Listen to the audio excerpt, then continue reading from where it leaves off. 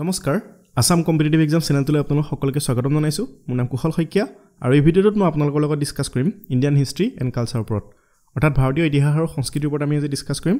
এই চিৰিজটো এইটো এঘাৰ নম্বৰটো পাৰ্ট যদি আগৰ পাৰ্টকেইটা চলাই চাই ল'ব কাৰণ প্ৰতিটো ভিডিঅ' ইম্পৰ্টেণ্ট হয়। আৰু যদি ভিডিঅ'সমূহ ভাল পায় লগৰ বন্ধু বান্ধৱী ভাইটি ভণ্টিজনে আগন্তুক পৰীক্ষাৰ কাৰণে প্ৰিপেৰেশ্যন কৰিছে তেওঁলোকৰ সৈতে শ্বেয়াৰ কৰিব। তাৰ লগতে যদি চেনেলটো ছাবস্ক্ৰাইব কৰা নাই ছাবস্ক্ৰাইব কৰিলোঁ। এইখিনিতে আপোনালোকক এটা ইনফৰ্মেশ্যন দি যাওঁ। আপুনি যদি আগন্তুক পৰীক্ষাৰ কাৰণে চিৰিয়াছলি প্ৰিপেৰেশ্যন কৰি আছে বিশেষকৈ এ পি এছ চি ফিল্মছৰ কাৰণে তেতিয়াহ'লে কুৱেশ্যনসমূহ কৰি চোৱাটো খুবেই ইম্পৰ্টেণ্ট হয়। অৰ্থাৎ কুৱেশ্যনসমূহ যিমানে প্ৰেক্টিছ কৰি চাব সিমানে আপোনাৰ মনতো ৰ'ব প্লাছ কনফিডেঞ্চটো বাঢ়িব। যদি এনেদৰে কুৱেশ্যনসমূহ কৰি চাব বিচাৰে তেতিয়াহ'লে আমাৰ এই টেলিগ্ৰাম গ্ৰুপত জইন হ'ব পাৰে। ইয়াতে চিলেবাছ অনুসৰি নতুন পেটাৰ্ণত কুৱেশ্যনসমূহ প্ৰভাইড কৰা হয়। অৰ্থাৎ thirty two thirty five percent question Assam related থাকে। তাৰ লগতে নতুনকৈ কাৰেণ্ট এফেয়াৰ্ছো ইয়াতে এড কৰা হৈছে। যদি জইন হ'ব বিচাৰে ভিডিঅ'টোৰ ডেছক্ৰিপশ্যনত বা পিন কমেণ্টত লিংকটো পাই যাব। তাৰ লগতে আমাৰ বিভিন্ন ই বুক আছে যেনেকৈ আছাম হিষ্ট্ৰীৰ ওপৰত আছে eight fifty plus M C Q ইয়াতে আপুনি ক্ৰনলজিকেল ৱাইজ কুৱেশ্যনখিনি পাব অৰ্থাৎ এনচিয়েণ্টৰ পৰা আৰম্ভ কৰি মিডিয়েভেল আৰু মডাৰ্ণ কুৱেশ্যনসমূহ ক্ৰনলজিকেল অৰ্ডাৰত ইয়াত সজোৱা হৈছে। তাৰ লগতে এ পি এছ চি প্ৰিলিমছৰ প্ৰিভিয়াছ ইয়েৰ কুৱেশ্যনৰ এখন ছাবজেক্ট ৱাইজ কুৱেশ্যনছ তাৰ লগতে এক্সপ্লেনেশ্যনছ ইয়াৰো এখন ই বুক আছে যদি ল'ব বিচাৰে ভিডিঅ'টোৰ ডেছক্ৰিপশ্যনত বা পিন কমেণ্টত লিংকটো পাই যাব। আজিৰ কুৱেশ্যনখিনি ডিছকাছ কৰাৰ আগতে আপোনালোকৰ কাৰণে এটা কুৱেশ্যন ৰাখিছোঁ। এই কুৱেশ্যনটো মই আগৰ পাৰ্টটো ডিছকাছ কৰিছিলোঁ। কুৱেশ্যনটো হৈছে who is regarded as the mother of Indian revolution অপশ্যনত যিখিনি দিয়া আছে তাৰ ভিতৰত কোনগৰাকীক ভাৰতীয় বিপ্লৱৰ মাতৃ হিচাপে গণ্য কৰা হয়? মই অপশ্যনখিনি এবাৰ কৈ দিছোঁ।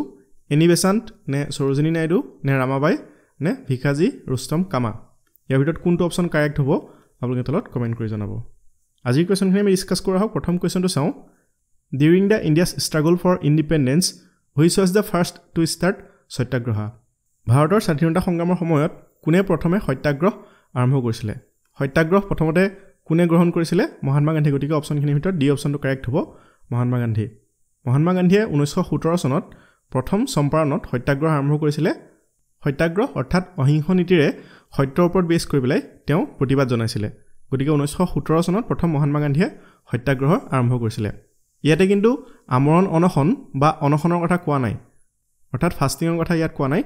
ঊনৈছশ সোতৰ চনত মহাত্মা গান্ধীয়ে অনশন কৰা নাছিলে। ঠিক আছে কিন্তু সত্যাগ্ৰহ ইয়াৰ পৰাই আৰম্ভ হৈছিলে। তেওঁ ইণ্ডিগ' যিবিলাক ফাৰ্মাৰ্ছ আছিলে সেই ফাৰ্মাৰ্ছবিলাকৰ ওচৰলৈ গৈছিলে আৰু তেওঁলোকৰ পৰা শুনিছিলে যে তেওঁলোকৰ অসুবিধা কি হৈ আছে। গতিকে যেতিয়া মহাত্মা গান্ধীয়ে গম পালে যে ব্ৰিটিছসকলে বা যিবিলাক ষ্টেট অ'নাৰ আছে অৰ্থাৎ মাটিৰ যিবিলাক মালিক আছিলে তেওঁলোকে কৃষকসকলক ফ'ৰ্চফুলি ইণ্ডিগ' খেতি কৰিবলৈ বাধ্য কৰিছিলে। কাৰণ সেই সময়ত ফাৰ্মাৰ্ছবিলাকৰ প্ৰায়বিলাক মাটি বন্ধকত আছিলে ব্ৰিটিছসকলৰ হাতত। গতিকে ব্ৰিটিছসকলে ইণ্ডিগ' ফাৰ্মাৰ্ছসকলক ফ'ৰ্চ কৰিছিলে যে ইয়াত ইণ্ডিগ' খেতি কৰিবই লাগিব। কিন্তু সেই সময়ত ইণ্ডিগ'ৰ দাম কমি অহাৰ কাৰণে বৰ এটা লাভজনক হোৱা নাছিলে। খেতি কৰি পেলাই কৃষকসকল লাভৱান হোৱা নাছিলে।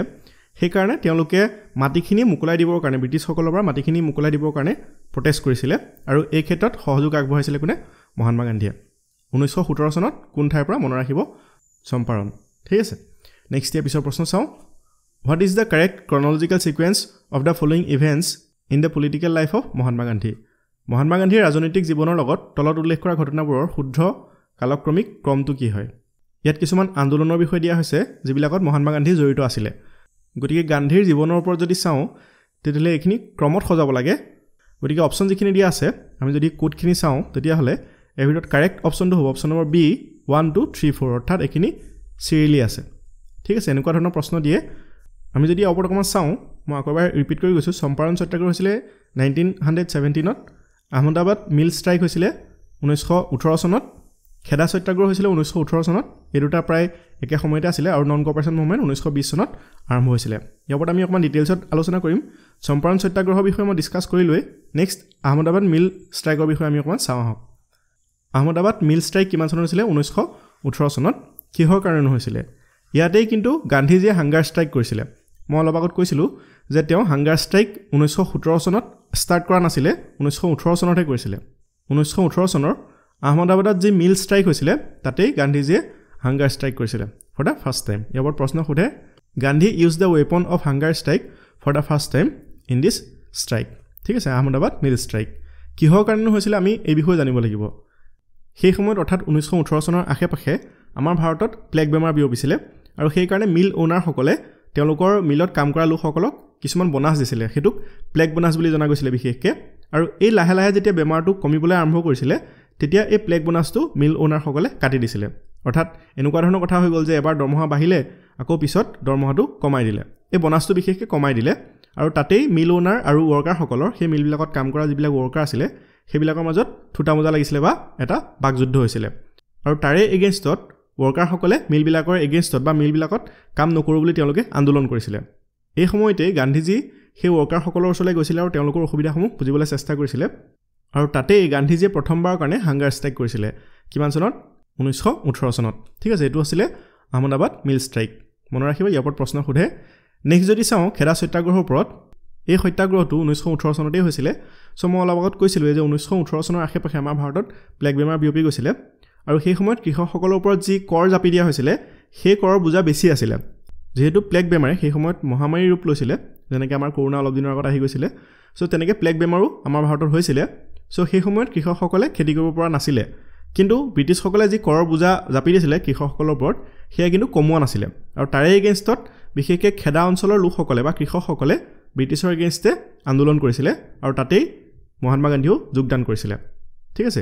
গতিকে এইটো আছিলে মহাত্মা গান্ধীৰ তৃতীয়টো আন্দোলন। মনত ৰাখিব it was the third satyagraha movement after Champaran satyagraha and Ahmedabad mill strike Champaran কিমান চনত হৈছিলে? ঊনৈছশ সোতৰ চনত। আহমদাবাদ মিল ষ্ট্ৰাইক কিমান চনত হৈছিলে? নাইনটিন এইটিন আৰু খেদা সত্যাগ্ৰহো এইটো কিমান চনত হৈছিলে? নাইনটিন এইটিনতেই কিন্তু আহমদাবাদ মিল ষ্ট্ৰাইকটো কিহৰ কাৰণে বেছি ইম্পৰ্টেণ্ট হয়? কাৰণ ইয়াতেই হাংগাৰ ষ্ট্ৰাইক ষ্টাৰ্ট কৰিছিলে মহাত্মা গান্ধীয়ে। নেক্সট নন কপাৰেশ্যন মুভমেণ্টৰ ওপৰত চাওঁ কাৰণ কুৱেশ্যনটোত অপশ্যনত নন কপাৰেশ্যন মুভমেণ্টটো আছিলে। গতিকে আমি জানিব লাগিব যে নন কপাৰেশ্যন মুভমেণ্টটো কি হয়। নন কপাৰেশ্যন কপাৰেশ্যন মানে হৈছে সহযোগ বা সহযোগিতা আগবঢ়োৱা। নন কপাৰেশ্যন গতিকে কি হ'ব? অসহযোগ আন্দোলন। কিমান চনত হৈছিলে আৰম্ভ? ঊনৈছশ বিছ চনত। এই আন্দোলনটো ঊনৈছশ বিছৰ পৰা ঊনৈছশ বাইছ চনলৈকে চলিছিলে। এইখিনিতে আৰু এটা কথা মন কৰিবলগীয়া যে ইণ্ডিয়ান নেশ্যনেল কংগ্ৰেছৰ যি নাগপুৰ ছেশ্যন আছিলে ঊনৈছশ বিছ চনত তাতেই নন কপাৰেশ্যন মুভমেণ্ট বা অসহযোগ আন্দোলনৰ ঘোষণা কৰা হৈছিল। ঠিক আছে মনত ৰাখিব কিমান চনত? ঊনৈছশ বিছ চনত। গান্ধীয়ে সেই সময়ত জনসাধাৰণক ঘোষণা কৰিছিলে শুনাইছিলে যে যদি নন কপাৰেশ্যন মুভমেণ্টটো ছাকচেছফুলি আমি ইমপ্লিমেণ্ট কৰিব পাৰোঁ তেতিয়াহ'লে স্বৰাজ এবছৰৰ ভিতৰতেই আহি যাব। এইখিনিতে মই মেনশ্যন কৰি যাওঁ যে গান্ধীয়ে সেই সময়তো আচ্ছে দিনৰ কথা কৈছিলে মানে ভাল দিন আহিব এবছৰৰ ভিতৰতে ভাল দিন আহিব বুলি তেওঁ মেনশ্যন কৰিছিলে। কিন্তু নন কপাৰেশ্যন মুভমেণ্টটো সম্পূৰ্ণৰূপে অহিংসাৰ ওপৰত প্ৰতিষ্ঠিত আছিলে। অৰ্থাৎ মুভমেণ্ট কৰিব হয় আন্দোলন কৰিব হয় কিন্তু কিহৰ জৰিয়তে কৰিব? অহিংসাৰ জৰিয়তে। কিন্তু ঊনৈছশ বাইছ চনত এটা ঘটনা সংঘটিত হ'ল। এই ঘটনাটোৱে এই যিটো আন্দোলন আছিলে নন কপাৰেশ্যন মুভমেণ্ট এই মুভমেণ্টটো বন্ধ কৰিবলৈ বাধ্য কৰি দিছিলে। ঊনৈছশ বাইছ চনত যিটো হৈছিলে চৌৰি চৌৰা নামৰ ঠাইত এই চৌৰি চৌৰা ইঞ্চিডেণ্টৰ কাৰণেই নন কপাৰেশ্যন মুভমেণ্ট বন্ধ কৰি দিবলগীয়া হৈছিলে। এই ক্ষেত্ৰত গান্ধীজীক বহুতে সমালোচনাও কৰিছিলে কাৰণ চৌৰি চৌৰা এইটো এটা সৰু অঞ্চল আছিলে আৰু এই সৰু অঞ্চলত হোৱা এটা ইঞ্চিডেণ্টৰ কাৰণে গোটেই ভাৰতবৰ্ষতে চলি থকা নন কপাৰেশ্যন মুভমেণ্টটো বন্ধ কৰি দিবলগীয়া হৈছিলে ঊনৈছশ বাইছ চনত। ইয়াৰ ওপৰত প্ৰশ্ন সোধে যে গান্ধীজীয়ে কিহৰ কাৰণে নন কপাৰেশ্যন মুভমেণ্টটো বন্ধ কৰিছিলে? মনত ৰাখিব ঊনৈছশ বাইছ চনত হোৱা চৌৰি চৌৰা ইঞ্চিডেণ্টৰ কাৰণে গান্ধীজীয়ে নন কপাৰেশ্যন মুভমেণ্ট বন্ধ কৰিছিলে কাৰণ তাত হিংসাত্মক কিছুমান কাণ্ড হৈছিলে। যদি সুবিধা হয় মই আগত এই বিষয়ে ডিছকাছ কৰিম। So' another movement was combined with the non cooperation movement in nineteen twenty was Khilafat movement ইয়াৰ ওপৰত প্ৰশ্ন সোধে যে নন কপাৰেশ্যন মুভমেণ্টৰ লগতেই ঊনৈছশ বিছ চনত আৰু এটা মুভমেণ্টৰ আৰম্ভ হৈছিলে বা আৰু এটা আন্দোলন লগ লাগিছিলে সেইটো কি হয়? ঊনৈছশ বিছ চনত খিলাফত মুভমেণ্ট নন কপাৰেশ্যন মুভমেণ্টৰ লগতেই একেলগে হৈছিলে। গান্ধীজীয়ে নন কপাৰেশ্যনৰ লগতেই খিলাফত মুভমেণ্টটোকো ইনক্লুড কৰি লৈছিলে কাৰণ খিলাফত মুভমেণ্টটো বিশেষকৈ মুছলিমসকলৰ এটা আন্দোলন আছিলে। আৰু মহাত্মা গান্ধীয়ে ভাবিছিলে কাৰণ তেওঁ এজন ভাল পলিটিচিয়ান আছিলে গতিকে তেওঁ ভাবিছিলে যে খিলাফত মুভমেণ্টটো যদি একেলগে আমি সংলগ্ন কৰি লওঁ তেতিয়াহ'লে মুছলিম মানুহৰ ছাপৰ্ট বেছি পাব। গতিকে একে সময়তে নন কপাৰেশ্যনৰ লগতেই আৰু এটা মুভমেণ্টৰ আৰম্ভ হৈছিলে সেইটো হৈছে খিলাফত মুভমেণ্ট আমি আগত ডিছকাছ কৰিম। এই খিলাফত মুভমেণ্টটো কোনে আৰম্ভ কৰিছিলে? মহম্মদ আলী আৰু চৌকাত আলী। ইয়াৰ ওপৰত প্ৰশ্ন সোধে। আমি এই বিষয়ে ডিছকাছ কৰিম বাৰু আগত প্ৰশ্ন আছে। নেক্সট ইয়াৰ পিছৰ প্ৰশ্ন চাওঁ। During the Indian freedom struggle why did the Rowlatt Act arouse popular indignation ভাৰতীয় স্বাধীনতা সংগ্ৰামৰ সময়ত ৰাওলাট যিখন আইন আছিলে এই আইনখনে কিয় জনসাধাৰণৰ ক্ষোভৰ সৃষ্টি কৰিছিল? ৰাওলাট এক্ট এইখনো নাইনটিন হাণ্ড্ৰেড নাইনটিনত আহিছিলে চ' এই আইনখনৰ বিৰোধিতা কৰিছিলে কিহৰ কাৰণে? জনসাধাৰণে। যিখিনি অপশ্যন দিয়া আছে তাৰ ভিতৰত চি অপশ্যনটো কাৰেক্ট হ'ব। আপোনালোকে অপশ্যনখিনি ভালদৰে পঢ়ি চাব পাৰে। It authorized the government to imprison people without trial অৰ্থাৎ যিকোনো এজন ব্যক্তিক ব্ৰিটিছসকলে গ্ৰেপ্তাৰ কৰিব পাৰিছিলে আৰু কোনো বিচাৰ নোহোৱাকৈ তেওঁক জেলত ৰাখিব পাৰিছিলে। বৰ্তমান সময়তো যদি চায় তেতিয়াহ'লে কোনো এজন ব্যক্তিক ভাৰতৰ কোনো এজন নাগৰিককেই পুলিচে বিনা যুক্তিত গ্ৰেপ্তাৰ কৰিব নোৱাৰে। ঠিক আছে? আৰু যদি গ্ৰেপ্তাৰ কৰেও তেতিয়াহ'লে বিচাৰকৰ ওচৰলৈ নিব লাগিব। আৰু যদি দোষৰ অবিহনে গ্ৰেপ্তাৰ কৰা হয় তেতিয়াহ'লে বিভিন্ন ধৰণৰ তেনেকুৱা আমাৰ কনষ্টিটিউশ্যনে প্ৰভিজনছ ৰাখিছে যাতে ব্যক্তিজনেও ছুপ্ৰিম কোৰ্টত গৈ পেলাই আবেদন কৰিব পাৰে। কাৰণ ফাণ্ডামেণ্টেল ৰাইট যদি ভায়লেট হৈছে ব্যক্তি এজনৰ তেতিয়াহ'লে তেওঁ ছুপ্ৰিম কোৰ্টৰ ওচৰলৈ যাব পাৰে। এই বিষয়ে আমি পলিটিকেলৰ কুৱেশ্যনত ডিছকাছ কৰিম আগলৈ। কিন্তু ব্ৰিটিছসকলে ৰাওলাট এক্টখনৰ জৰিয়তে কি কৰিছিলে যে যিকোনো এজন ব্যক্তিকে গ্ৰেপ্তাৰ কৰিব পাৰে কিন্তু বিচাৰকৰ ওচৰলৈ তেওঁলোকে নিনিয়াকৈ ব্যক্তিজনক জীৱনজোৰা কাৰদণ্ড দিব পাৰিছিলে। গতিকে এনেকুৱা এখন আইনকনো কোন জনসাধাৰণে ছাপোৰ্ট কৰিব সেইকাৰণে জনসাধাৰণে এই আইনখনৰ বিৰোধিতা কৰিছিলে। আইনখনৰ নাম কি আছিলে মনত ৰাখিব? ৰাওলাট এক্ট কিমান চনত আছিলে? ঊনৈছশ ঊনৈছ চনত। আৰু এই আইনখনেই গৈ গৈ পেলাই জালিয়ানবাগৰ হত্যাকাণ্ডৰ লগতো জড়িত হ'ব। ঊনৈছশ ঊনৈছ চনৰ ৰাওলাট আইনখনে চৰকাৰৰ সন্দেহযুক্ত লোকক বিচাৰ অবিহনে গ্ৰেপ্তাৰ কৰি কাৰাগাৰত ভৰোৱাৰ ক্ষমতা প্ৰদান কৰিছিল। যিটোৰ কাৰণেই লোকসকলে বিৰোধিতা কৰিছিলে আৰু বিৰোধিতাটো কৰিবই কাৰণ কোনোবা এজনে যদি প্ৰটেষ্ট কৰে বা কোনোবা এজন ব্যক্তিক যদি ব্ৰিটিছসকলে সন্দেহ কৰে যে এজন ব্ৰিটিছৰ এগেইনষ্টত আছে গতিকে তেওঁক আনি পেলাই আৰ্মত কাৰাগাৰত ভৰাই থ'ব পাৰিছিলে। গতিকে এইটোৰ কাৰণেই জনসাধাৰণে বিৰোধিতা কৰিছিলে আইনখনৰ। ঠিক আছে? নেক্সট ইয়াৰ পিছৰ প্ৰশ্ন চাওঁ। Which among the following led Jallianwala Bagh massacre কিহৰ কাৰণে বিদ্ৰোহ কৰোঁতে জালিয়ানৱালাবাগত হত্যাকাণ্ড সংঘটিত হৈছিলে? চ' অপশ্যন যিখিনি দি আছে বি অপশ্যনটো কাৰেক্ট হ'ব ৰাওলা টেক জালিয়ানৱালাবাগৰ হত্যাকাণ্ড কিমান চনত হৈছিলে? ঊনৈছশ ঊনৈছ চনত। চ' ঊনৈছশ ঊনৈছত যি ৰাওলাট এক্ট আছিলে তাৰ এগেইনষ্টতেই বিদ্ৰোহ কৰিছিলে জনসাধাৰণে। কিন্তু সেই আইনখনৰ বিৰোধিতা কৰোঁতে জনসাধাৰণক গুলীয়াই জালিয়ানৱালাবাগ নামৰ ঠাইখনত গুলীয়াই হত্যা কৰা হৈছিলে। বহুতো লোকক হত্যা কৰা হৈছিলে। এই আইনখনক যিখন ৰাওলাট এক্ট আছিলে এইখনক ব্লেক এক্ট বুলিও জনা যায়। ঠিক আছে মই সেইকাৰণে ইয়াতে ক'লাৰ কালাৰ কৰি দিছোঁ। কিহৰ কাৰণে জনা যায় গমটো পাইছেই। অলৰেডি আমি ডিছকাছ কৰি আহিলোঁ। চ' এই আইনখনৰ এগেইনষ্টত জনসাধাৰণ যেতিয়া গোট হৈ পেলাই বিদ্ৰোহ কৰিছিলে অহিংসাই আছিলে কিন্তু সেই সময়তো কোনো ধৰণৰ হিংসা জনসাধাৰণে কৰা নাছিলে কিন্তু এগেইনষ্টত কিন্তু যেতিয়া গেডাৰিং হৈ আছিলে বা একেলগ হৈ আছিলে লোকসকল সমবেত হৈ আছিলে সেই গোট খাই থাকোঁতেই জেনেৰেল ডায়াৰ ইয়াৰ নাম সোধে কিন্তু কামাণ্ডাৰ আছিলে। চ' এই কামাণ্ডাৰৰ কামাণ্ডত ঊনৈছশ ঊনৈছ চনৰ তেৰ এপ্ৰিলত জালিয়ানৱালাবাগত সমবেত হোৱা বৃহৎ সংখ্যক লোকৰ ওপৰত সৈন্যই গুলী চলাইছিলে। সৈন্য মানে কিহৰ সৈন্য? ব্ৰিটিছৰ সৈন্যই গুলীচালনা কৰে আৰু ইয়াকেই জালিয়ানৱালাবাগৰ হত্যাকাণ্ড বুলি কোৱা হয়। গতিকে জনসাধাৰণে কোনখন আইনৰ বিৰোধিতা কৰিবলৈ গৈছিলে ৰাওলা টেক কিমান চনৰ? ঊনৈছশ ঊনৈছ চনত তাতেই জালিয়ানৱালাবাগৰ হত্যাকাণ্ড হৈছিলে। ঠিক আছে নেক্সট ইয়াৰ পিছৰ প্ৰশ্ন চাওঁ। Rabindranath Tagore gave up his knighthood in protest to which one of the following তলৰ কোনটোৰ প্ৰতিবাদত ৰবীন্দ্ৰনাথ ঠাকুৰে নিজৰ নাইটহুড ত্যাগ কৰিছিল। নাইটহুড উপাধিটো ৰবীন্দ্ৰনাথ ঠাকুৰক দিছিলে ব্ৰিটিছ গভৰ্ণমেণ্টে আৰু এইটো ত্যাগ কৰিছিলে কিহৰ কাৰণে? জালিয়ানৱালাবাগৰ হত্যাকাণ্ডৰ কাৰণে। গতিকে বি অপশ্যনটো কাৰেক্ট হ'ব। ঊনৈছশ ঊনৈছ চনত যি জালিয়ানৱালাবাগৰ হত্যাকাণ্ড হ'ল তাৰ এগেইনষ্টতে ৰবীন্দ্ৰনাথ ঠাকুৰে নাইটহুড উপাধিটো ত্যাগ কৰিছিলে। ইয়াৰ পৰা প্ৰশ্ন সোধে নেক্সট ইয়াৰ পিছৰ প্ৰশ্ন চাওঁ। Who among the following were prominent leaders of the Khilafat movement তলত উল্লেখ কৰাসকলৰ ভিতৰত কোন খিলাফত আন্দোলনৰ বিশিষ্ট নেতা আছিলে? অলপ আগত আমি সেই বিষয়ে ডিছকাছ কৰি আহিলোৱেই। তথাপিও মই মেনশ্যন কৰি যাওঁ এই অপশ্যনটো কাৰেক্ট হ'ব। মৌলানা মহম্মদ আলী এণ্ড চৌকত আলী।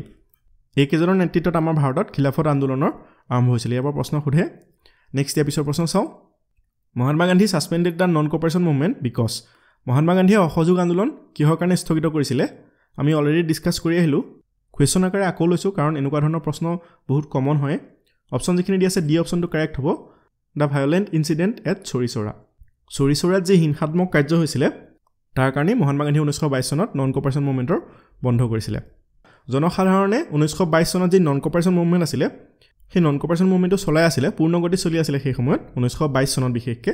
ঊনৈছশ বিছ চনত আৰম্ভ হৈছিলে আৰু বাইছলৈকে পূৰা সম্পূৰ্ণৰূপে ভাৰতত চলি আছিলে। ঊনৈছশ একৈছ চনটোততো একো প্ৰব্লেম নহ'লে যেতিয়া চলি থাকিলে কিন্তু বাইছ চনৰ ফেব্ৰুৱাৰী মাহতে কি হ'ল যে যিসকল লোক আছিলে তেওঁলোকে যেতিয়া এই আন্দোলন কৰি আছিলে তেতিয়া চৰিচৰা নামৰ ঠাইখনত ব্ৰিটিছসকলৰ সেনাৰ মাজত অকণমান অৰিয়া অৰি লাগিছিলে আৰু পিছত গৈ পেলাই এইটো লাহে লাহে ডাঙৰ হৈ গৈছিলে।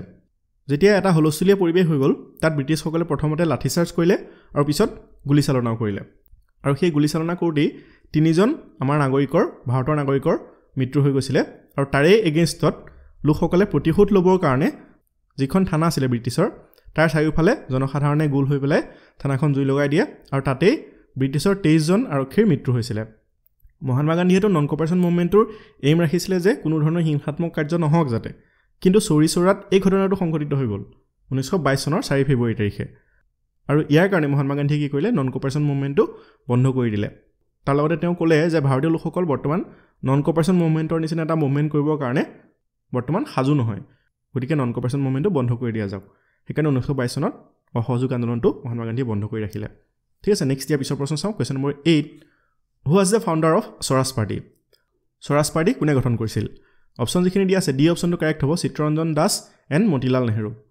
মতিলাল নেহেৰু মানে হৈছে জৱাহৰলাল নেহেৰু পিতৃ।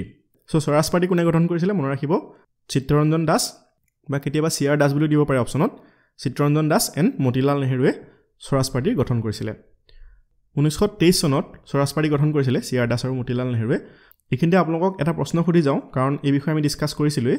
আমাৰ অসমত স্বৰাজ পাৰ্টী কোনে গঠন কৰিছিলে? ঠিক আছে আমি বহুতবাৰ ডিছকাছ কৰিছোঁ আছাম হিষ্ট্ৰী যদি চিৰিজটো চলাই চাই ল'ব আমাৰ অসমত স্বৰাজ পাৰ্টী গঠন কোনে কৰিছিলে আপোনালোকে তলত কমেণ্ট কৰি জনাব। নেক্সট ইয়াৰ পিছৰ প্ৰশ্ন চাওঁ।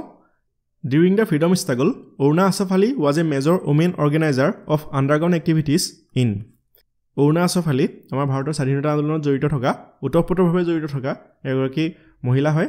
তেওঁ কোনটো আন্দোলনৰ সময়ত মহিলাসকলক বিশেষকৈ অৰ্গেনাইজ কৰাত বা একত্ৰিত কৰাত সহায় কৰিছিলে। অপশ্যন যিখিনি দিয়া আছে তাৰ ভিতৰত চি অপশ্যনটো কাৰেক্ট হ'ব quit India movement Aruna Asaf আলীক কিহৰ কাৰণে জনা যায়? এই বিষয়ে যদি আমি অকণমান চাওঁ তেতিয়াহ'লে ঊনৈছশ বিয়াল্লিছ চনত কুইট ইণ্ডিয়া মুভমেণ্ট ঊনৈছশ বিয়াল্লিছ চনতে হৈছিলে। ঊনৈছশ বিয়াল্লিছ চনত কুইট ইণ্ডিয়া অৰ্থাৎ ভাৰতীয় আন্দোলন nineteen forty two so' Aruna Asaf আলীয়ে বম্বেৰ গোৱালিয়ৰ টেংক গ্ৰাউণ্ডত কংগ্ৰেছৰ পতাকা উত্তোলন কৰিছিলে। ব্ৰিটিছে পাত্তাই নাপালে। ঊনৈছশ বিয়াল্লিছ চনত মনত ৰাখিব গোৱালিয়ৰ টেংক গ্ৰাউণ্ডত কংগ্ৰেছৰ পতাকা উত্তোলন কৰা মহিলাগৰাকী কোন আছিলে? অৰুণা আছফ আলী। ঠিক আছে নেক্সট ইয়াৰ পিছৰ প্ৰশ্ন চাওঁ। Question number ten for the first time Purna Swaraj was declared by the Congress at অৰ্থাৎ কংগ্ৰেছৰ কোনখন সভাত বা কোনখন বৈঠকত পূৰ্ণ স্বৰাজ ডিক্লেয়াৰ কৰা হৈছিলে? অপশ্যন যিখিনি দিয়া আছে এই অপশ্যনটো কাৰেক্ট হ'ব লাহোৰ। কংগ্ৰেছৰ লাহোৰ ছেশ্যনত পূৰ্ণ স্বৰাজ ডিক্লেয়াৰ কৰা হৈছিলে মনত ৰাখিব ভাৰতীয় জাতীয় কংগ্ৰেছৰ লাহোৰ অধিৱেশনত জৱাহৰলাল নেহৰুৱে পূৰ্ণ স্বৰাজ প্ৰস্তাৱ প্ৰস্তুত কৰি দাখিল কৰে। কোনে প্ৰস্তুত কৰি দাখিল কৰিছিলে ইয়াৰ ওপৰতো প্ৰশ্ন সোধে। ইয়াৰ ওপৰত প্ৰায়ে সোধা দেখা গৈছে প্ৰশ্ন মনত ৰাখিব নাইনটিন টুৱেণ্টি নাইন অৰ্থাৎ ঊনৈছশ ঊনত্ৰিছ চনত পূৰ্ণ স্বৰাজ ডিক্লেয়াৰ কৰিছিলে অৰ্থাৎ টোটেল ইণ্ডিপেণ্ডেঞ্চ ডিক্লেয়াৰ কৰিছিলে কোনে? জৱাহৰলাল নেহৰুৱে আৰু লাহোৰ ছেশ্যনত ঠিক আছে নেক্সট ইয়াৰ পিছৰ প্ৰশ্ন চাওঁ।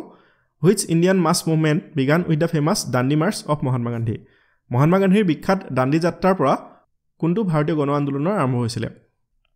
দাণ্ডি যাত্ৰাৰ লগে লগেই দাণ্ডি যাত্ৰা কিমান চনত হৈছিলে? নাইনটিন থাৰ্টি ঊনৈছশ ত্ৰিছ চনত যি দাণ্ডি যাত্ৰা হৈছিলে সেই সময়ৰ পৰাই মহাত্মা গান্ধীৰ নেতৃত্বতেই আৰু এটা গণ আন্দোলন আৰম্ভ হৈছিলে সেইটো হৈছে চিভিল ডিছঅবিডিয়েঞ্চ মুভমেণ্ট গতিকে অপশ্যন চিটো কাৰেক্ট হ'ব আইন অমান্য আন্দোলন চিভিল ডিছঅবিডিয়েঞ্চ মুভমেণ্ট ঠিক আছে?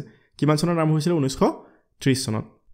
ঊনৈছশ ত্ৰিছ চনৰ বাইছ মাৰ্চত সবৰমতী আশ্ৰমৰ পৰা খোজকাঢ়ি পেলাই মহাত্মা গান্ধীৰ সৈতে কেইবাজনো ব্যক্তি ওলাইছিলে দাণ্ডিলৈ।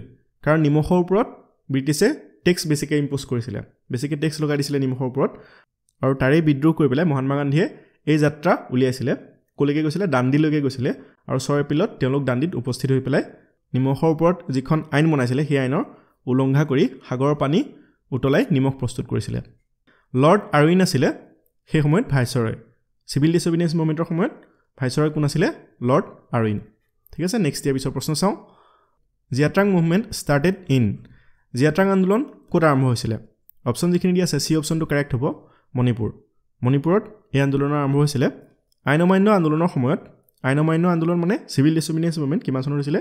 নাইনটিন থাৰ্টি এই আন্দোলনৰ সময়ত নগা জনজাতীয় মহিলা গাইডিন লিউ তেওঁৰ নেতৃত্বত মণিপুৰত জনজাতীয়সকলে সক্ৰিয় ভূমিকা পালন কৰিছিলে। আৰু তেওঁৰ নেতৃত্বত চলি থকা এই আন্দোলনক জিয়াট্ৰাং আন্দোলন বুলি জনা যায়। গতিকে মনত ৰাখিব জিয়াট্ৰাং আন্দোলন কাৰ নেতৃত্বত হৈছিলে?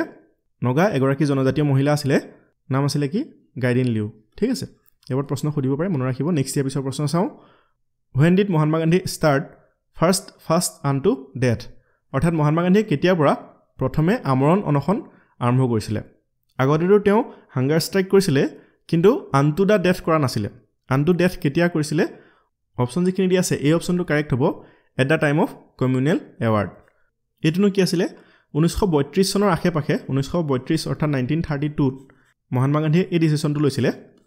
চ' কমিউনেল এৱাৰ্ডনো কি হয়? যে ব্ৰিটিছ গভমেণ্টে এটা ডিচিশ্যন লৈছিলে কাষ্টৰ ওপৰত ভিত্তি কৰি অৰ্থাৎ সম্প্ৰদায়ৰ ওপৰত ভিত্তি কৰি ছেপাৰেট এটা ইলেক্ট্ৰেল ছিষ্টেম গঠন কৰিব। আৰু এই কাষ্টৰ ওপৰত ভিত্তি কৰি পেলাই কনচেপ্টটো অহাৰ কাৰণেই মহাত্মা গান্ধীয়ে ইয়াৰ বিৰোধিতা কৰিছিলে আৰু আমৰণ অনুসৰণ কৰিছিলে অৰ্থাৎ ফাৰ্ষ্ট আন টু দ্য ডেথ ঠিক আছে এইটো প্ৰথম ক'ত কৰিছিলে মনত ৰাখিব এটা time of communal award in nineteen thirty two ঊনৈছশ বত্ৰিছ চনত কৰিছিলে। ঠিক আছে নেক্সট ইয়াৰ পিছৰ প্ৰশ্ন চাওঁ। In the individual satyagraha Vinoba Bhave was chosen as the first satyagrahi who was the second Mahatma গান্ধীয়ে ইণ্ডিভিজুৱেল সত্যাগ্ৰহৰ কাৰণে দুটা নাম ছাজেষ্ট কৰিছিলে এইবোৰ প্ৰশ্ন সোধে মনত ৰাখিব। প্ৰথম নামটো হৈছে বিনোবা ভাৱে ইয়াৰ ওপৰত প্ৰশ্ন বহুতবাৰ সুধিছে। আৰু দ্বিতীয়জন কোন আছিলে? পণ্ডিত জৱাহৰলাল নেহৰু অপশ্যন বিটো কাৰেক্ট হ'ব। ঊনৈছশ চল্লিছ চনত ফাদাৰ অফ নেশ্যন অৰ্থাৎ জাতিৰ পিতা মহাত্মা গান্ধীয়ে ইণ্ডিভিজুৱেল সত্যাগ্ৰহী হিচাপে দুটা নাম তেওঁ মেনশ্যন কৰিছিলে বা নাম দুটা ছাজেষ্ট কৰিছিলে। প্ৰথমটো আছিলে বিনোবা ভাৱে আৰু দ্বিতীয়জন কোন আছিলে? জৱাহৰলাল নেহৰু। ঠিক আছে নেক্সট ইয়াৰ পিছৰ প্ৰশ্ন চাওঁ। হু ষ্টাৰ্টেড ভূদান মুভমেণ্ট কোনে ভূদান আন্দোলন আৰম্ভ কৰিছিলে? ভূদান আন্দোলন আৰম্ভ কৰিছিলে বিনোবা ভাৱে আমি অলৰেডি ডিছকাছ কৰি আহিলোঁ। মহাত্মা গান্ধীয়ে ছাজেষ্ট কৰা প্ৰথমগৰাকী এওঁ ইণ্ডিভিজুৱেল সত্যাগ্ৰহী আছিলে। চ' বিনোবা ভাৱেই আমাৰ ভাৰতখন স্বাধীন হোৱাৰ পাছত যিসকল ভূমিহীন কৃষক আছে সেই কৃষকসকলক ভূমি বিতৰণ কৰিছিলে আৰু তাকেই কোৱা হৈছিলে ভূদান আন্দোলন। এইটো কোনে আৰম্ভ কৰিছিলে? বিনোবা ভাৱে ঊনৈছশ চল্লিছ চনত ইণ্ডিভিজুৱেল সত্যাগ্ৰহ কৰিছিলে এওঁ আৰু আমাৰ ভাৰতখন স্বাধীন হোৱাৰ পাছত অৰ্থাৎ স্বাধীনতা লাভ কৰাৰ পাছত ভূদান আন্দোলন আৰম্ভ কৰিছিলে। কিহৰ কাৰণে? ভূমিহীন কৃষকক মাটি বিতৰণ কৰিবৰ কাৰণে। ঠিক আছে নেক্সট ইয়াৰ পিছৰ প্ৰশ্ন চাওঁ। Who viewed the Cripps proposal as a post dated cheque world war ছেকেণ্ডৰ সময়ত দ্বিতীয় বিশ্বযুদ্ধৰ সময়ত ক্ৰিপছে প্ৰস্তাৱ এটা লৈ আহিছিলে আমাৰ ভাৰতলৈ যে আমাৰ ভাৰতৰ লোকসকলে বা ভাৰতৰ যিসকল পলিটিকেল লিডাৰ আছে সেইসকলে ব্ৰিটিছক ছাপৰ্ট কৰিব লাগে। আৰু ইয়াকেই মহাত্মা গান্ধীয়ে কৈছিলে যে post dated cheque post dated চেকটো সাধাৰণতে এটা বেংকিং টাৰ্ম হয়। বেংকত বেলেঞ্চ নাথাকিলেও চেকৰ জৰিয়তে দিব পাৰে। কিন্তু আপুনি ডেটটো আজিৰ ডেট দিব নহ'ব কেতিয়া দিব লাগিব এটা আগৰ ডেট দিব লাগিব। পাছ নহয় ফিউচাৰৰ কথা কৈছোঁ। চ' আগৰ এটা ডেট দি পেলাই কি কৰিব পাৰে? চেকখন দিব পাৰে। ইনচাফিচিয়েণ্ট ফাণ্ড যদি আপোনাৰ হাতত পইচা নাথাকে বেংকত যদি পইচা নাথাকে বা writing a cheque in advance আগতীয়াকৈ দি থ'ব পাৰে। গতিকে এইটোক কোৱা হয় পষ্ট ডেটেড চেক আৰু ক্ৰিপছৰ যি প্ৰপ'জেল আছিলে অৰ্থাৎ ক্ৰিপছ মিছন আছিলে সেই ক্ৰিপছ মিছনক মহাত্মা গান্ধীয়ে পষ্ট ডেটেড চেক বুলি মেনশ্যন কৰিছিলে। বহুতবাৰ সুধিছে এইটো প্ৰশ্ন মনত ৰাখিব। ঊনৈছশ বিয়াল্লিছ চনৰ মাৰ্চ মাহত দ্বিতীয় বিশ্বযুদ্ধৰ বাবে ভাৰতৰ সমৰ্থন বিচাৰি সাংবিধানিক প্ৰস্তাৱ লৈ ক্ৰিপছৰ নেতৃত্বত এটা মিছন ভাৰতলৈ আহিছিলে। মিছন মানে এটা টীম আহিছিলে ক্ৰিপছৰ নেতৃত্বত। আৰু তেওঁলোকে এটা প্ৰপ'জেল লৈ আহিছিলে যে ভাৰতৰ লোকসকলে এল আই যিটো পাৱাৰ আছে তেওঁলোকক ছাপৰ্ট কৰিব লাগে। আৰু ইয়াকে পষ্ট ডেটেড চেক বুলি কৈছিলে মহাত্মা গান্ধীয়ে। ইণ্টাৰেষ্টিং হয়। ইণ্ডিয়াই ছাপৰ্ট কৰিবলৈ এগ্ৰী হৈছিলে কিন্তু এটা তেওঁলোকে চৰ্তও ৰাখিছিলে যে ইয়াৰ পাছতেই কি লাগিব? আমাক ইণ্ডিপেণ্ডেঞ্চ লাগিব। ঠিক আছে? Independence would be given after the war complete ইণ্ডিপেণ্ডেঞ্চৰ কথা কৈছিলে কিন্তু। নেক্সট ইয়াৰ পিছৰ প্ৰশ্ন চাওঁ। Who among the following call the movement of Gandhiji as political blackmail তলৰ কোনে গান্ধীজীৰ আন্দোলনসমূহক ৰাজনৈতিক ব্লেকমেইল বুলি অভিহিত কৰিছিলে। ইয়াৰ ওপৰত প্ৰশ্ন সোধে মনত ৰাখিব। অপশ্যন যিখিনি দিয়া আছে তাৰ ভিতৰত চি অপশ্যনটো কাৰেক্ট হ'ব। লৰ্ড লিনলি থগো মোৰ ইংলিছ এনেই বেয়া তাতে প্ৰনাউnciয়েশ্যন যদি ভুল হৈছে বেয়া নাপাব। চ' এখেতে গান্ধীজীৰ আন্দোলনসমূহক ৰাজনৈতিক ব্লেকমেইল বুলি অভিহিত কৰিছিলে। ঠিক আছে নেক্সট ইয়াৰ পিছৰ প্ৰশ্ন চাওঁ। Where did Congress launch the quit India movement on August eight nineteen forty two আঠ আগষ্ট তাৰিখে ঊনৈছশ বিয়াল্লিছ চনৰ আঠ আগষ্ট তাৰিখে কংগ্ৰেছে ভাৰতীয় আন্দোলন কৰিছিলে। ক'ত আৰম্ভ কৰিছিলে? অপশ্যন যিখিনি দিয়া আছে এই অপশ্যনটো কাৰেক্ট হ'ব। বম্বে বম্বেত ঊনৈছশ বিয়াল্লিছ চনৰ আঠ আগষ্ট তাৰিখে ভাৰতীয় আন্দোলন আৰম্ভ হৈছিলে অৰ্থাৎ কুইট ইণ্ডিয়া মুভমেণ্ট আৰম্ভ হৈছিলে। ক'ৰ পৰা আৰম্ভ হৈছিলে? ইয়াৰ পৰা প্ৰশ্ন সুধিব পাৰে। কুইট ইণ্ডিয়া মুভমেণ্টক সাধাৰণতে আগষ্ট ক্ৰান্তি বুলিও জনা যায় যিহেতু আগষ্টত আৰম্ভ হৈছিলে। সেইকাৰণে আগষ্ট ক্ৰান্তি বুলিও জনা যায়। কোনখন ফিল্ডত হৈছিলে বা কোনখন মৈদানত হৈছিলে? গোৱালিয়ৰ টেংক মৈদান ইন মুম্বাই ইয়াৰ ওপৰত প্ৰশ্ন সোধে Mahatma Gandhi issued the quit India speech at the Gowalia Tank Maidan in Mumbai ঠিক আছে। This movement was started on August nineteen forty two এই বিষয়ে নিশ্চয় আপোনালোকে জানেই। ইণ্টাৰেষ্টিং কথাটো হ'ল কুইট ইণ্ডিয়া মুভমেণ্টৰ যিখন ড্ৰাফ্ট সেইখন কোনে প্ৰিপেয়াৰ কৰিছিলে? জৱাহৰলাল নেহৰু ঠিক আছে ইয়াৰ ওপৰত প্ৰশ্ন সুধিব পাৰে। The draft of quit India resolution was prepared by Jawaharlal Nehru Jayaprakash Narayan is also' known as the hero' of the quit India movement quit India মুভমেণ্টৰ hero বুলি কাক কোৱা হয়? জয়প্ৰকাশ নাৰায়ণ ইয়াৰ ওপৰত প্ৰশ্ন সোধে মনত ৰাখিব। Aruna Ashraf Ali is known as the heroine of the Quit India movement do or die এই শ্লোগানটো কেতিয়া দিয়া হৈছিলে? কুইট ইণ্ডিয়া মুভমেণ্টৰ সময়তে দিয়া হৈছিলে। গতিকে ইয়াৰ ওপৰত প্ৰশ্ন দেখা যায়। আৰু ইণ্ডিয়া মুভমেণ্টৰ সময়ত ভাইচৰয় কোন আছিলে? আপোনালোকে এখেতৰ নামটো এবাৰ নিজে পঢ়ি ল'ব। ঠিক আছে নেক্সট ইয়াৰ পিছৰ প্ৰশ্ন চাওঁ। Who among the following established Rani Lakshmibai regiment তলৰ উল্লেখ কৰাসকলৰ ভিতৰত কোনে ৰাণী লক্ষ্মীবাই ৰেজিমেণ্ট গঠন কৰিছিলে? ৰাণী লক্ষ্মীবাইটো সাধাৰণতে এটা মহিলাৰ ৰেজিমেণ্ট আছিলে। ওমেণ্ট এটা ৰেজিমেণ্ট হয়। কোনে গঠন কৰিছিলে? অপশ্যন যিখিনি দিয়া আছে তাৰ ভিতৰত ডি অপশ্যনটো কাৰেক্ট হ'ব। সুভাষ চন্দ্ৰ বোছ সুভাষ চন্দ্ৰ বোছে এই ৰেজিমেণ্টটো গঠন কৰিছিলে during the second world war দ্বিতীয় বিশ্বযুদ্ধ কিমান চনৰ পৰা কিমান চনলৈকে হৈছিলে? ঊনৈছশ ঊনচল্লিছৰ পৰা ঊনৈছশ পঞ্চল্লিছলৈকে হৈছিলে nineteen thirty nine to nineteen forty five so' এই সময়ছোৱাতেই নাইনটিন ফৰ্টি থ্ৰীত সুভাষ চন্দ্ৰ বোছে এই ৰেজিমেণ্টটো গঠন কৰিছিলে। ঝান্সী ৰাণী ৰেজিমেণ্ট ঠিক আছে এই ক্ষেত্ৰত জাপানৰ তেওঁলোকে সহায় লৈছিলে। এই বিষয়ে বাৰু কেতিয়াবা পিছত ডিছকাছ কৰিম আজি ভিডিঅ'টো বেছি দীঘল হৈ গৈছে। নেক্সট ইয়াৰ পিছত প্ৰশ্ন চাওঁ। The American publicist who was with Mahatma Gandhi during his Quit India movement was Mahatma গান্ধীৰ ভাৰতীয় আন্দোলনৰ সময়ত তেওঁৰ লগত থকা আমেৰিকান প্ৰচাৰকজন কোন আছিলে? ভাৰতীয় আন্দোলনৰ সময়ত যিবিলাক বাৰ্তা আছিলে সেইবিলাক পাব্লিছ কৰিবৰ কাৰণে আমেৰিকান লোকসকলেও মহাত্মা গান্ধীক ছাপৰ্ট কৰিছিলে। চ' আমেৰিকাৰ এজন জাৰ্নেলিষ্টেও মহাত্মা গান্ধীক এই ক্ষেত্ৰত সহায় কৰিছিলে। তেওঁৰ নামটো হৈছে অপশ্যন এইটো কাৰেক্ট হ'ব লুইচ ফিচাৰ ঠিক আছে এবাৰ প্ৰশ্ন সোধে মনত ৰাখিব। লুইচ ফিচাৰে মহাত্মা গান্ধীৰ ভাৰতীয় আন্দোলনৰ সময়ত তেওঁক বিভিন্ন ধৰণৰ টপিকবিলাক বা আৰ্টিকেলবিলাক পাব্লিছ কৰিবলৈ সহায় কৰিছিলে। অকল প্ৰকাশ কৰাই নহয় তেওঁলোকে ভাৰতৰ স্বাধীনতাৰো দাবী কৰিছিল। ঠিক আছে আজি আমি ইণ্ডিয়ান হিষ্ট্ৰীৰ কেইটামান কুৱেশ্যনৰ তাৰ ৰিলেটেড কিছুমান টপিক ডিছকাছ কৰিলোঁ। আশা কৰোঁ কুৱেশ্যনসমূহৰ লগতে যিবিলাক টপিক আমি ডিছকাছ কৰি গৈছোঁ সেইসমূহে আপোনালোকৰ এক্সামৰ প্ৰিপেশ্যনৰ ক্ষেত্ৰত সহায় কৰিব। যদি ভিডিঅ'টো ভাল পায় লগৰ বন্ধু বান্ধৱীৰ সৈতে শ্বেয়াৰ কৰিব আৰু যদি চেনেলটো এতিয়ালৈকে ছাবস্ক্ৰাইব কৰে ছাবস্ক্ৰাইব কৰি ল'ব। তাৰ লগতে আমাৰ যদি টেষ্ট গ্ৰুপত জইন হ'ব বিচাৰে বা আমাৰ যদি ইবুকসমূহ ল'ব বিচাৰে তেতিয়াহ'লে ভিডিঅ'টোৰ ডেছক্ৰিপশ্যনত বা পিন কমেণ্টত লিংক পাই যাব আৰু মোৰ লগত যদি পাৰ্চনেলি কানেক্ট হ'ব বিচাৰে ফেচবুক বা ইনষ্টাগ্ৰামত বিচাৰি চালে পাব। এই ভিডিঅ'টোত ইমানেই আমি পুনৰ লগ পাম।